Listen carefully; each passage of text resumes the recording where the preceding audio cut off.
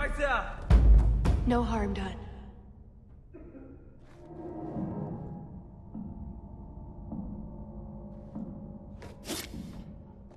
Cursed what?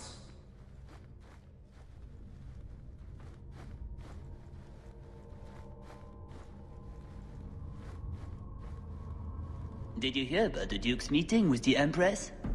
I never listen to court gossip. That'll get you killed, my friend.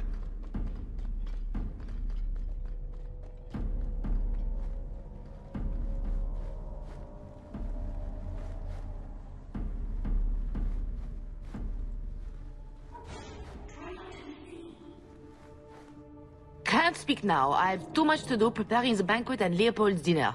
You don't want to see a wyvern go hungry? If you need something, ask one of the servants.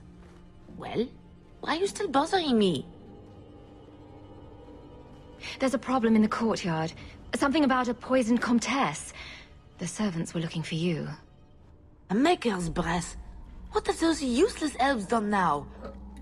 I suppose I'd better deal with this.